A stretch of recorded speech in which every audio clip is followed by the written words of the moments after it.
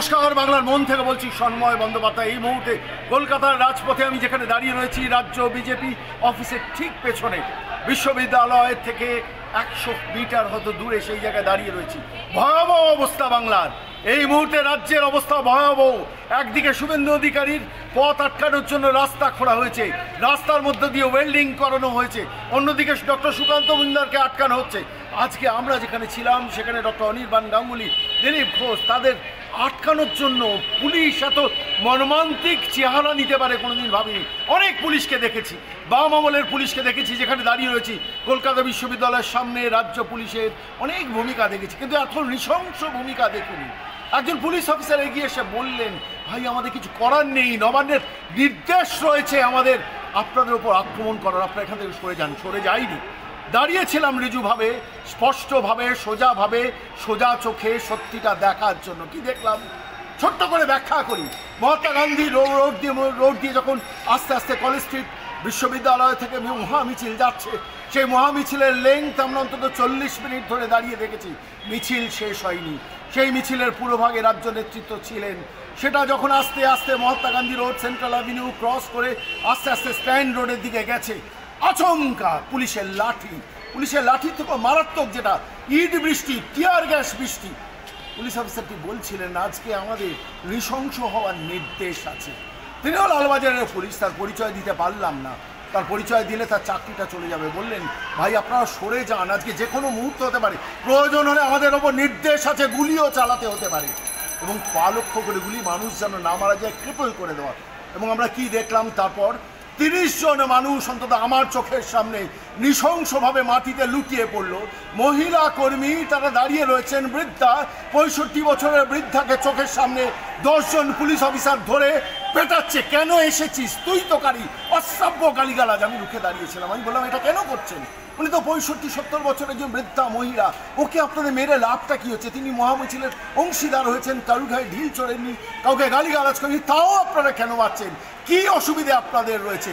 এখান থেকে তো হয়নি, এবং চোখের সামনে যে ঘটনাটা দেখেছি, সেটা আরও মারাত্মক। সেটা ওই ঢিল ছোড়া হচ্ছে, লাঠি ছোড়া হচ্ছে, মারাত্মক সিচুয়েশন এই মুহূর্তে আপনাদের দেখাচ্ছি। দেখুন, আরেকজন মহিলাকে নিয়ে যাওয়া হচ্ছে। আপনারা দেখুন, মমতা বন্দ্যোপাধ্যায় চোদ্দ তলা থেকে পালিয়ে গেছেন, আর সেই পালিয়ে যাওয়ার মুহূর্তে কীভাবে বাংলাকে শ্মশানপুরি তৈরি করেছেন, আপনারা দেখলেন চোখের সামনে। আমরা যে কথা বলছিলাম বাংলার মনে আবার ফিরে আসছি। এই মুহূর্তে দাঁড়িয়ে আজকে রাজ্য পুলিশের, কলকাতা পুলিশের নৃশংস চেহারা চোখের সামনে দেখলাম। কত মানুষ রক্তাক্ত হয়ে গেল। সত্তর বছর, বাহাত্তর বছর, পঁচাত্তর বছরের বৃদ্ধরা মাটিতে লুটিয়ে পড়ছেন। চোখের সামনে দেখছি একটার পর একটা টিয়ার গ্যাস, লাঠি, ঢিল। পুলিশের ভিড়ের মধ্যে থেকে কীভাবে কেউ ঢিল ছুটতে পারে, অবাক লাগল। শান্তিপূর্ণ মিছিল ছিল, আস্তে আস্তে করে এগোচ্ছিল। যা পরিকল্পনা ছিল, একটা ব্যারিকেড ছিল। সেই ব্যারিকেডের অনেকটা আগে তখন মিছিল পৌঁছেছে। আচমকা ধেয়ে এলো পুলিশের পক্ষ থেকে। বড় বড় ঢিল আদলা ইট ছুঁড়ে এলো এবং তখন একটা প্যানিক তৈরি করার চেষ্টা হলো। ঠিক তার মুহূর্তের মধ্যে পুলিশের থেকে লাঠি গ্যাস হলো। আপনারা প্রশ্ন করতেই পারেন, ভিড়ের মধ্যে থেকে কোনো ঢিল গেছে? না যায়নি চোখের সামনে যা দেখেছি, সেটাই আপনাদের সামনে বর্ণনা করেছি। মানুষ রিয়াক্ট করেছে অনেক পরে। যখন প্রায় পাঁচ মিনিট পুলিশ আগ্রাসী ভূমিকা নিয়েছিল, সেই পুলিশ অফিসারের কথা মনে পড়ছিল মহাত্মা গান্ধী রোডের মূর্তি, মহাত্মা গান্ধী রোড এবং সেন্ট্রাল অ্যাভিনিউর ক্রসিংয়ের সামনে আমি যখন দাঁড়িয়ে ভদ্রকে আমি কথা বলছিলাম, তিনি আমাকে চিনতে পেরেছেন বাংলার বার্তার পরিচালক হিসেবে। বললেন, আজকে আমাদের নৃশংস হওয়ার নির্দেশ আছে নবান্ন থেকে। কিছু করার নেই, দাদা। আপনারা যদি শান্তিপূর্ণ মিছিল করেন, তাও আপনাদের মারার নির্দেশ আছে। কি পেলেন মমতা বন্দ্যোপাধ্যায়? কি পেলেন? আজকের এই ঘটনা কিসের প্রমাণ দিচ্ছে? আপনি ভয় পেয়েছেন। কোটি কোটি টাকা লুট করে বাংলার মানুষ যে চোর চোর চোর স্লোগান দিয়েছে। সেই স্লোগান চোদ্দ তলা আপনার জানলা দিয়ে ভেদ করে ঘরে ঢুকবে বলে আপনি পালিয়ে গেলেন দরজা বন্ধ করে। কিন্তু লেলিয়ে দিয়ে গেলেন বাংলার পুলিশ বাহিনীকে। সেই পুলিশ কর্মচারীদের ছেলেমেয়েরা গান্ধী মূর্তির পাদদেশে বসে। সেই পুলিশ কর্মচারীর ছেলেমেয়েরা শিক্ষিত হয়ে মাস্টার ডিগ্রি করে ফার্স্ট ক্লাস পাওয়ার পরও তারা আজও বাংলায় বেকার হয়ে ঘুরে বেড়াচ্ছে। তাদের আপনি চাকরি দিচ্ছেন না, ব্যবসা দিচ্ছেন না, শিল্প দিচ্ছেন না। প্রতিবাদ করার অধিকারটাও কেড়ে নেবেন। এভাবে আমরা আর কথা বাড়াবো না। এই মুহূর্তে আপনাদের একটা ভিডিও দেখাবো, যেখানে দেখুন কীভাবে মানুষকে নৃশংসভাবে আজকে কলকাতা পুলিশ মেরেছে। কোনো প্রভোকেশন ছিল না।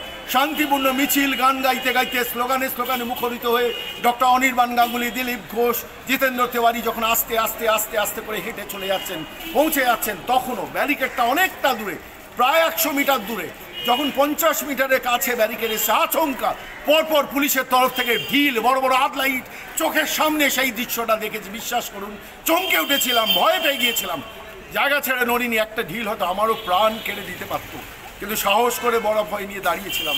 বহু ছেলে রক্তাক্ত হয়েছে, কারুর মাথা ফেটেছে, কারুর মাথার পেছন ফেটে গেছে, কারুর পা ক্ষত বিক্ষত হয়েছে, কারুর হাত ক্ষত বিক্ষত হয়েছে, কারুর পা ক্ষত বিক্ষত হয়েছে। কি পেলেন মমতা বন্দ্যোপাধ্যায়? যেতে আপনাকে হবে সেই দিনটার জন্য আজকের দিনটা। কলকাতার রাজপথে চিহ্নিত হয়ে গেল।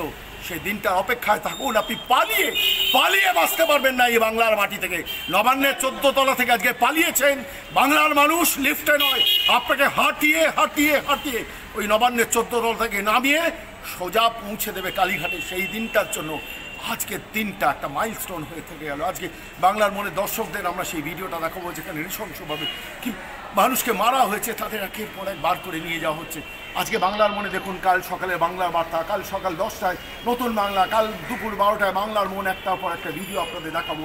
দেখতে থাকবেন বাংলার বার্তা, বাংলার মন, নতুন বাংলা। কিন্তু এই মুহূর্তে সব থেকে আগে বাংলার মন দেখুন, যেখানে কি নৃশংসভাবে একজন মানুষকে মারা হয়েছে, তাকে নিয়ে যাওয়া হচ্ছে সেই দৃশ্যটা দেখুন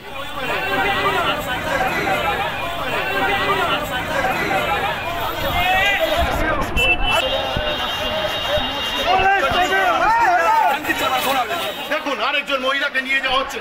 আপনারা দেখুন, মমতা বন্দ্যোপাধ্যায় তলা থেকে পালিয়ে গেছেন, আর সেই পালিয়ে যাওয়ার মুহূর্তে কীভাবে বাংলাকে শ্মশানপুরী তৈরি করেছেন, আপনারা দেখলেন চোখের সামনে।